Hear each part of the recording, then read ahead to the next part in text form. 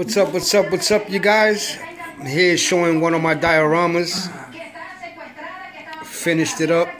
All I need to do now is add a little bit of snow to those rocks over there. And it will be finished. Excuse the mess. I was working on my uh, dios. But this dio right here is like two dios in one. As you can see. You can pull this one apart and use this as a different dio. Got some rocks, removable. You can place them anywhere you want. The whole wall, it's a rock.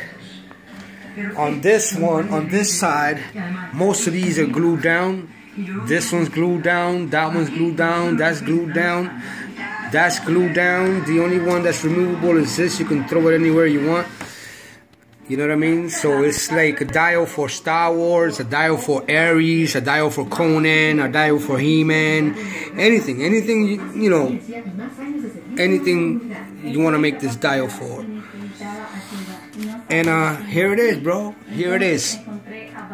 You can uh, check out uh, my work up in uh, Facebook. I do uh, live videos sometimes, doing these on Facebook uh, look for us. It's called Toy Comics Inc. It's the Facebook group. Make sure to join us. And uh, yeah, there it is. Anybody interested in some dios? Just hit me up, man. Reasonable. I ain't gonna beat you over the head with the prices either. So here it is, guys. Hope you enjoy.